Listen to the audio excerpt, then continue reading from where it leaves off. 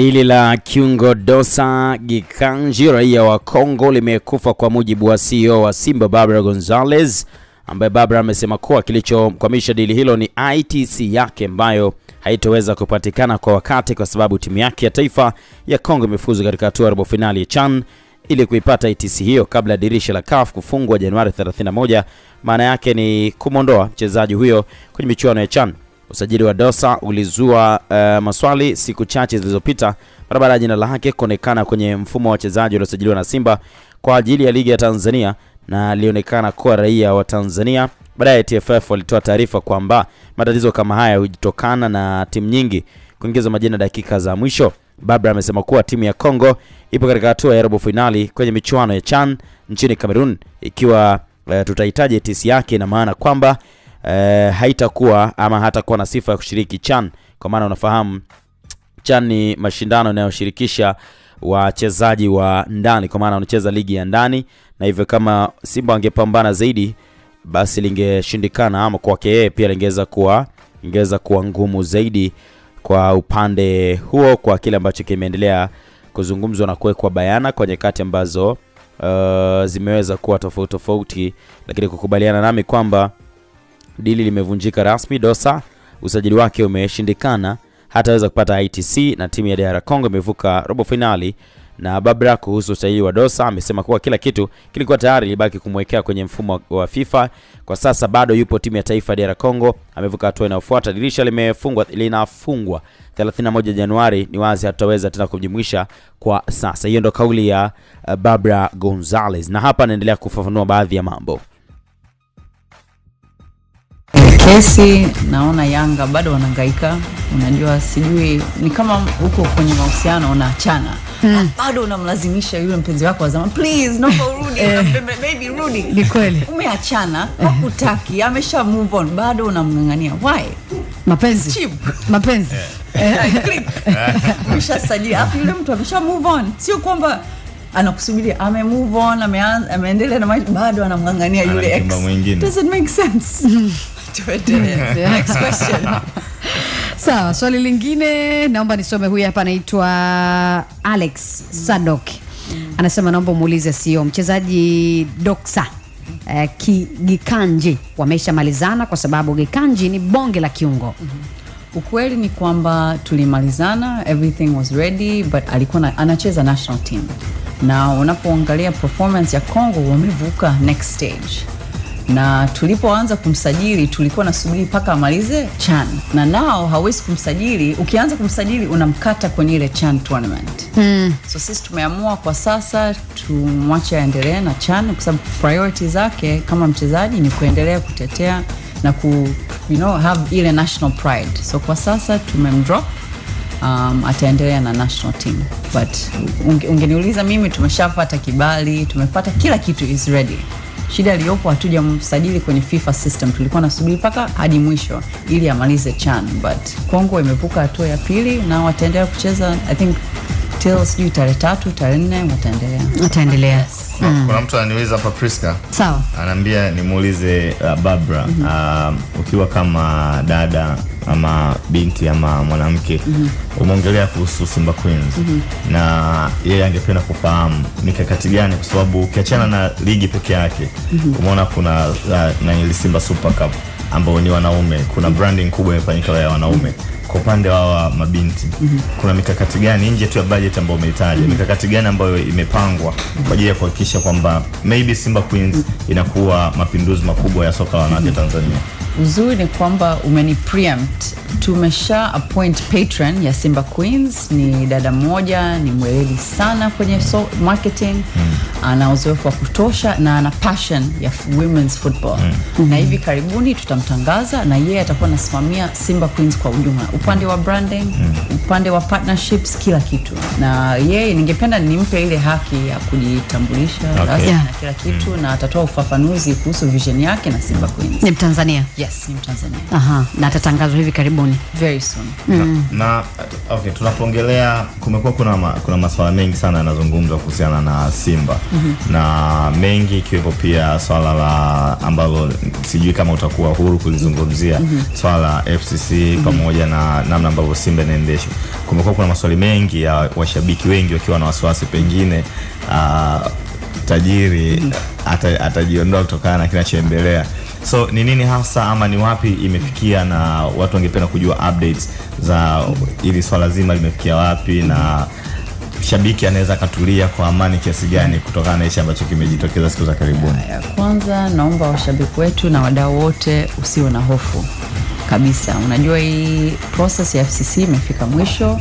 Mwenyekiti wa bodi mwekezaji eh, ataendelea kubaki na si Okay. na kesi yetu iko na vyombo husika na kuna baadhi ya watu wanaisimamia na imeenda vizuri na tumefika 99% tuko pale, so usio na hofu. Mi mwenyewe ndo nasimamia na nikitoka hapa ndo naenda kwenye kikao nyingine kwa ajili ya kesi Ah, but okay. it's, it's going very good na watu wengi wanajua mi ni mtu napenda kufata process, napenda kufata sheria na tuko kwenye very good stage. Nilienda Dodoma pia nilikuwa nafuatilia kesi yetu, tuko kwenye very good stage. Naomba wadau wetu we patient. Kuna baadhi ya vitu lazima zikae siri mpaka tukamilishe mchakato wa mabadiliko. Kwa, kwa maana hiyo ni kwamba mchakato unaendelea. Yes, yes. Mm. na, na, naomba nimwakilishe pia mm. Tunapozungumzia legends wa Simba mm -hmm. uh, kuna wakina Kiemba mm -hmm. kuna wakina Joseph Kaniki wachezaji wengi sana Musa Hassan Mgosa ambaye amepata nafasi mm -hmm. na kumekuwa kuna maswali mengi sana kuhusiana na namna legends wa Tanzania kwenye vilabu kwa miaka mingi wamekuwa overlooked Ndiyo. kwenye process nyingi namna ya ushirikishwaji mm -hmm. uh, tunapozungumzia akina Kiemba ambao ni wengi kwenye klabu ya Simba sio mm -hmm. ambao wamecheza Simba kwa mafanikio kuna watu ambao walifika 2003 uh, mm -hmm. robo finali baada ya kuitwa Zamalek mm -hmm. kuna mpango wowote ama mkakati wowote kama CEO kuhakikisha kwa kuhakikisha kwamba not only kwamba wanakumbukwa mm -hmm. lakini pia wanakuwa sehemu ya mikakati ya Simba kwenye vitu vingi ama kwenye namna yoyote ya kiuongozi kwenye klabu ya Simba I think hiyo ni swali nzuri. Ya kwanza, kuna mtu mmoja ofisini anatengeneza database ya all legends ya Simba mm -hmm. kuanzia 1960s, 70s. Ya pili, kutengeneza contact number zao, so ili kuna jambo, kwa mfano Mo Simba Awards, tunataka tualike legends wote, tuwapataje?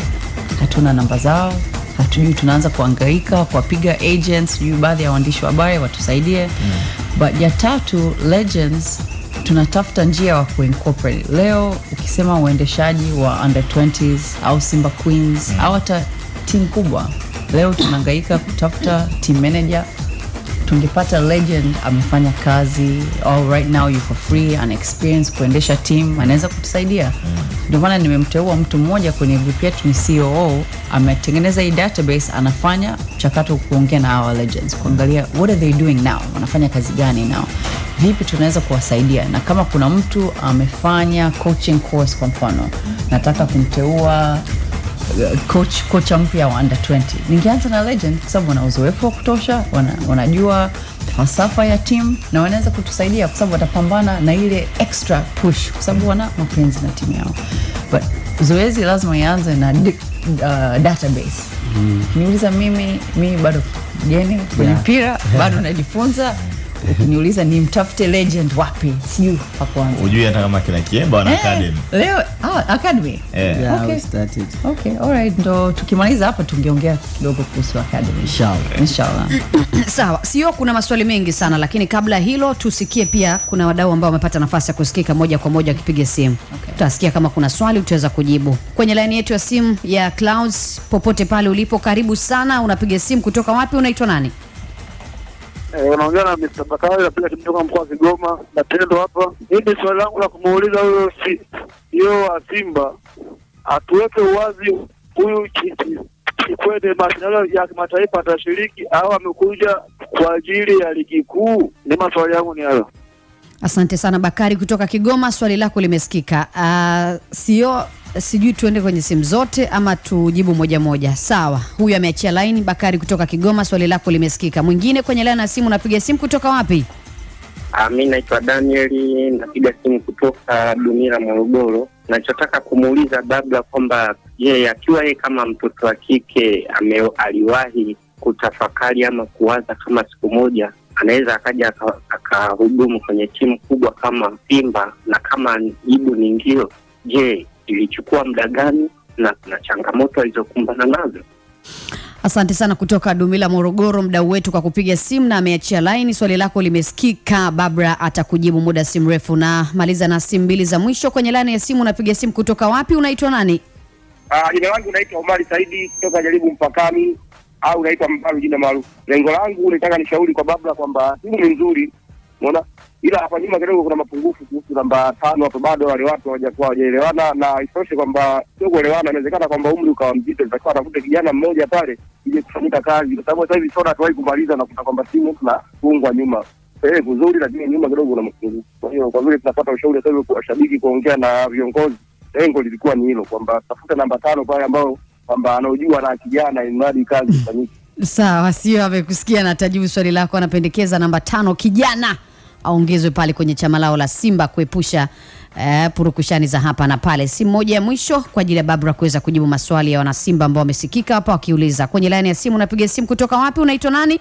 Hii ni sauti yake Sebastiani mwana wa Kumbuka. Huyu ni mdaa upendwa wa hili game ya sports ya Clouds FM. E bwana, swali langu kwa babu la kwanza kabla ya swali ni pongezi tu kumpongeza kwamba ni mwanamama ambaye anaonyesha ubora wake na ni mtabiri tu kwa kwamba naamini atafanya makubwa zaidi ya haya tunayoyaona katika klabu yetu ya Simba. Mm. Nimpongeze sana binafsi, namkubali sana, namkubali, namkubali sana. Pia hili game nitoe shukrani na pongezi kwenu kwa hiki mnachokifanya. Hakika mnathibitisha na kuonyesha nyinyi ni tofauti na hawa wenyewe tuliowazoea. Sebastiani bana, kumbuka nipo Mwanza Buhongwa, ili game hadi nne kamili, tupo pamoja. Asante. Asante sana Sebastian kutoka Buhongwa, Mwanza. Amempongeza Barbara kama mwanamama kwa kuonyesha uwezo mkubwa kwenye nafasi ambayo amepewa. Uh, Barbara, maswali naamini uliyasikia, wanasimba wanakusikiliza.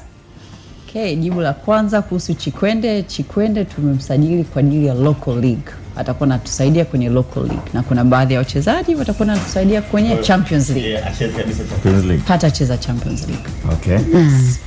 Sawa, swali la pili. Swala la pili ilikuwa kuhusu mimi kama mwanamke kushika hii nafasi. Kama uliwahi kutarajia siku moja utakuwa Ukweli ni kwamba no, sijawahi kutarajia. Mimi naona kwamba mpira ni industry wanaume- wengi wanawake hawakubaliki kwenye mpira. Kwa mfano leo nisinge ungeniuliza miaka kumi iliyopita ningesema mchambuzi anaweza kuwa mwanamke. No, it's not possible Kabisa. Now wachambuzi wanawake wamepitiliza na wanafanya vizuri sana. Yes, yes. mm. Alafu wana passion kuhusu mpira Yeah. na kuhusu changamoto na nini. Ni kama kazi yoyote, unajua, ukiwa mchambuzi au ukiwa daktari au ukiwa mwanasheria, kila kazi na changamoto zake, Ni kweli na changamoto haziendani na jinsia. kabisa. Yes, yes. Changamoto ni changamoto. Yes, yes. Kuna la mwisho hapo Uh, kuhusu central defenders tupate Eh, mmoja kijana yeye amesema kijana Eh. tumemsajili Peter, tumsubiri Peter mpaka aanze kucheza kutoka Zimbabwe. Yeye alikuwa best player of the, of the season kule Zimbabwe, so tutamsubiri Peter tusaidie kwenye Champions League, na ni kijana anaweza kutusaidia, tumsubiri mpaka acheze. Na pia naye ameali kijana pia. Eh, yes. Eh. Hata Kennedy kijana. Sababu Kennedy ni kijana. Yeah. Eh, inatokea tu labda. Ame- ame mwenyewe kijana. Yaani Am- Ame ni kijana, Kennedy ni kijana. Lakini pia unajua nadhani wanahitaji kijana mwenye experience. Inawezekana pia. inawezekana. Kwa kwa kwa Champions lakini kwa, League. kwa, kwa wewe kama na wewe mchezaji. Eh, central defender central defenders ni moja positions ambazo mtu anaweza kucheza kwa umri mkubwa sana. Yeah, Eh, sana. Na ni nafasi ambazo mara nyingi hata makocha wana, wana, wana, wana depend on players ambao kidogo yeah, matured matured wana umri mkubwa kidogo. na wanacheza sana pale kwa sababu kilomita zao zinasoma ndogo Eh, Yaani umbali mdogo yani Eh. ukikuta sehemu ya midfield watu wanasoma kilomita kumi na moja wao Eh. inasoma tatu nne Eh. kwa hiyo wanakuwa na muda mrefu wa kucheza kama goalkeeper vile Mm. yani defender akiwa na tatu nne basi kipa ana, moja au nusu kilomita Babra, uh, tunapoizungumzia Simba ya miaka mitano ijayo, kwa sababu nadhani that's an, that's an easiest estimation watu